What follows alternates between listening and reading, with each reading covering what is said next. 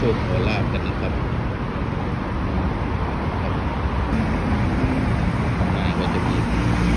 มีของไหว้ของอะไรครับนี่ก็เป็นสมบัติเราอยู่หลังข้างหลังคาเฟ่นะครับท่านจะรูปข้างในก็จะเป็นชุดที่เส้นไหว้ของไหว้ต่างๆครับ ก็จะเป็น ไม้เก่าก็ตี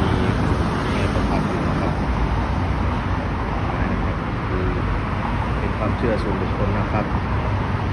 ใครที่มีความเชื่อหรือว่าอยากมาไหว้มาขอพรก็มาไหว้ได้นะครับน่าเชื่อครับเป็นไม้ขึ้นมาแล้วก็จะเป็นรูปของนางนางลงนะครับมีชีวิตจริงๆนะครับผมมองยังผมมองดูยังเหมือน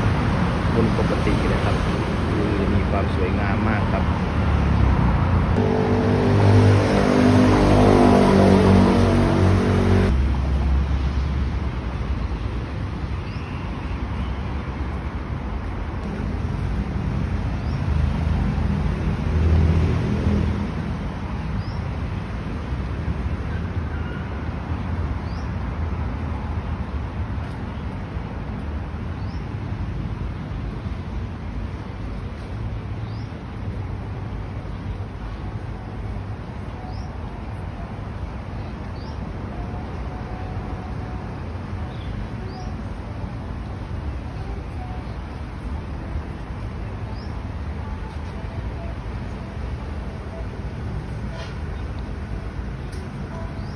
อยู่ตรง ประดิษฐ์มนุธรรมซอย 23 นะครับ เรียบทางด่วนรามอินทราครับ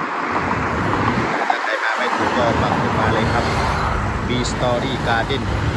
ประดิษฐ์มนุธรรม23เดี๋ยวซ้ายเข้ามานิดนึงครับเดี๋ยวซ้ายเข้ามาคาเฟ่ก็จะอยู่ขวามือเลยครับ